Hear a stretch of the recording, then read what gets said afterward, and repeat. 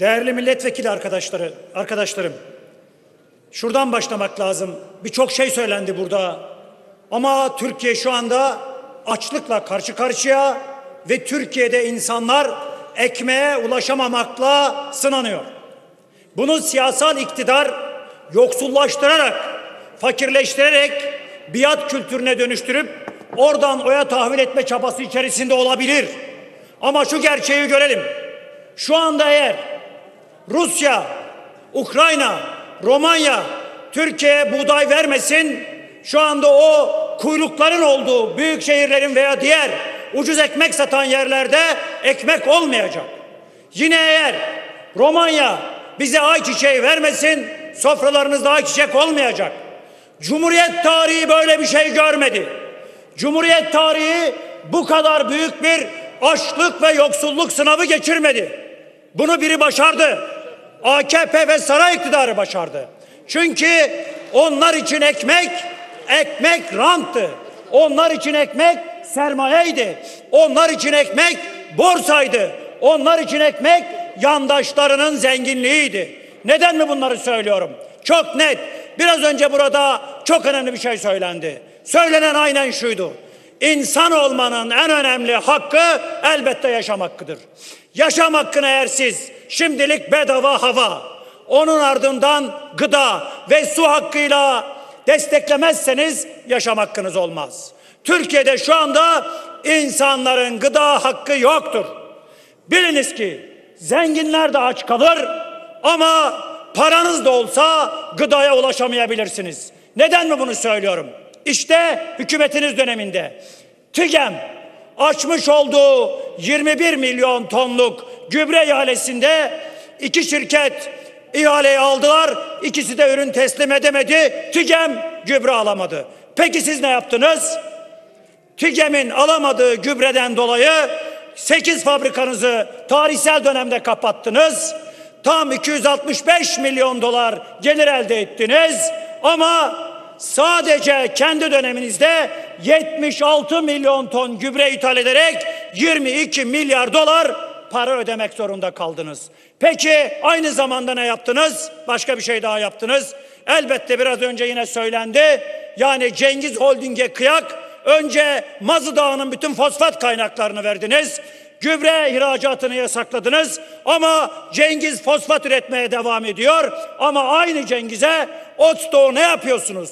O fosfat ne oluyor diye sormuyorsunuz. Yetmedi. Cumhurbaşkanı kıyak fonundan ona 1.8 milyar TL ayırarak gübre fabrikası yaptırmak için elinizden geleni yapıyorsunuz. Çok açık, çok net söylemekte yarar var. Değerli milletvekili arkadaşlarım, Türkiye çok olağan dışı bir süreçten geçmektedir. Ama geleneksel bir sözümüz var. Tok açtan anlamaz. Çünkü siz ve hepimiz bu çatı altında olanlar, değerli halkım size söylüyorum. Burada Türkiye Cumhuriyeti'nin en ucuz etinin satıldığı yer. Burası Türkiye Cumhuriyeti'nin en ucuz yemeklerinin olduğu yer. Elbette AKP iktidarı bu ucuz yerlerden yerken milletvekili maaşıyla size öbür dünyada cenneti vaat etti. Bunu vaat etmeye de devam etmektedir. Dolayısıyla Türkiye şu anda ciddi anlamda bir açlık sorunuyla karşı karşıyadır. Neden mi bunu söylüyorum? Bakın bir bütçe. Bir bütçede 25.8 milyar TL tarıma para ayırdınız. 25.8 milyar. Tekrar söylüyorum. Bakın bir yılda bir yılda çiftçinin cebinden çıkan para yem 100 milyar.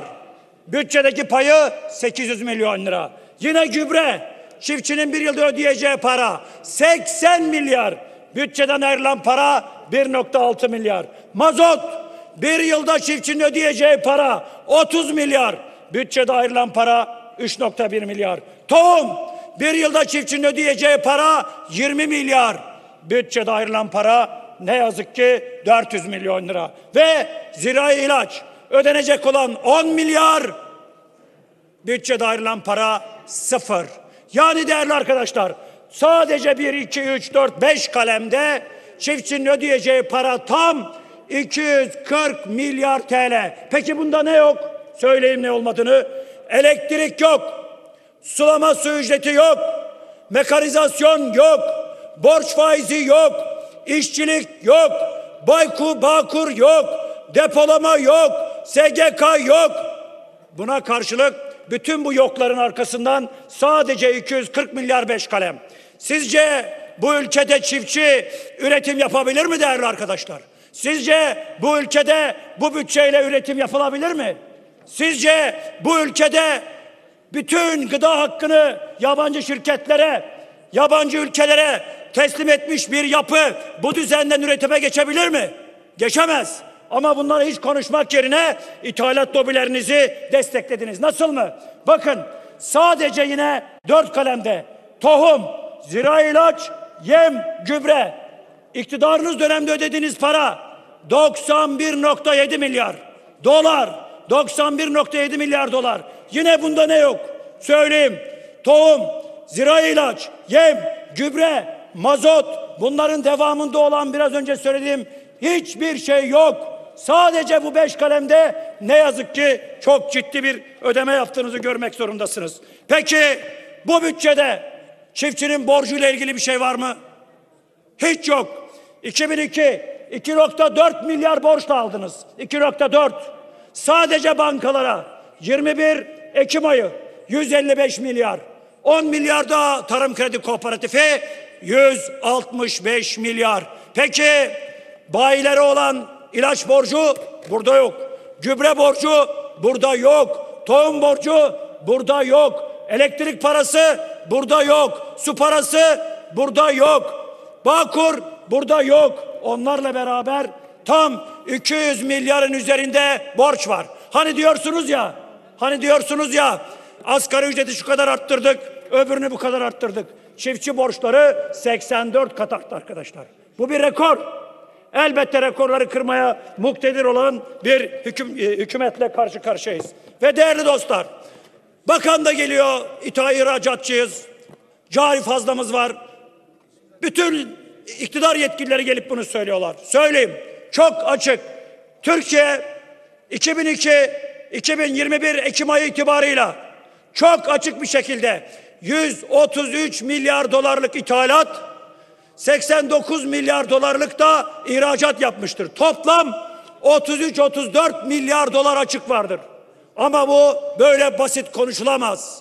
Bu yaptığımız ihracatın içindeki ürünlere baktığınızda hepsi bu topraklarda yetişebilen ürünler. Ama ne yazık ki iktidar böyle bir şeyi yapmak gibi, böyle bir üretime dönmek gibi bir derdi yok. Aslında bütün mesele şu. Bütün mesele iktidar ithalat sopasıyla 7 yıl boyunca ülkeyi yönetmek istedi. Hem çiftçiyi terbiye etmek istedi ama başka bir şey daha yaptı. Kendi yandaşlarına büyük gemiler alarak o ithalatla büyük büyük gemilerle buğday, arpa, mısır taşıyarak bir taşla iki kuş vurdu. Ve o ithalat sopası uzunca bir süre çiftçi, tüketici, toplumu terbiye etti. Ama hiç düşünemediler. O kadar kötü yönettiler ki, o kadar kötü yönettiler ki dolar tam 12 kat yükselince o ithalat sopası geldi, iktidarı güzel güzel şu anda terbiye ediyor. Hem de nasıl bir terbiye biliyor musunuz? Bir hükümet düşünün, bir ülkenin hükümetini düşünün. 780 bin kilometre kare, 200 milyon dönüm tarım alanı var ekilebilir. Bu hükümet ithalatı teşvik ediyor. Nasıl mı? Değerli arkadaşlar, şu anda Toprak Mahsulleri Ofisi dışarıdan 4700 liraya buğday alarak un pahalı olmasın diye bir dayatma yaparak onun çuvalı 184 lirayla 200 lira arasında olacak diyerek ithalatı teşvik ediyor arkadaşlar. Sadece AKP döneminde 26 milyar TL'lik ithalat yapan Toprak Mahsulleri Ofisi 15 milyarını hazineden ödedi. Bu ithalatı teşvik etmek değil midir? Cumhuriyet tarihinde ilk yaptınız bunu. Sizi kutluyorum elbette. Bu önemli bir başarı öyküsüdür. Sizin alıp her zaman rahatlıkla kullanabileceğiniz tarihsel bir süreçtir. Bunun mutlaka farkında olmamız gerekmektedir. Değerli milletvekili arkadaşlarım, çok söylenecek şey var. Bakın bir kanun çıktı burada. Tamamlayın sözlerinizi. dedik. Defalarca söyledik. Dedik ki desteklemeden yüzde iki ve yüzde dört vergi almayın. Olacak şey değil. Tarım desteğinden yüzde dört, yüzde iki vergi alıyorsunuz. Kanun çıktı. Dava açıldı. Davayı çiftçilerimiz kazandı. Burada hızlıca bir kanun çıktı. O kanuna göre son beş yıl çiftçiden kestiğiniz vergileri iade edeceksiniz. Peki nasıl? Arkadaşlar olmaz. Gerçekten elinizi vicdanınıza koyun. Diyorsunuz ki 31 Aralık'a kadar çiftçiler vergi dairesine gidip müracaat etsinler. Arkadaşlar vicdan var. Bunu keserken sordunuz mu? Ziraat Bankası'ndan direkt keserken herhangi bir şey söylediniz mi? Çiftçiyi Ziraat Bankası'na çağırıp Sayın Sarıbas süreniz tamamlandı. Verdim. Kullandınız onu da. Kullan, onu kul- kullandınız yok. Teşekkür ediyorum. Başkan.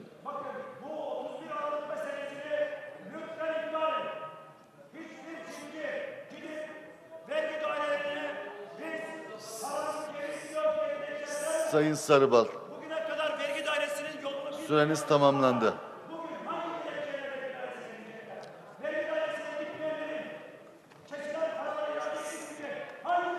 Sayın Sarıbal, süreniz tamamlandı lütfen.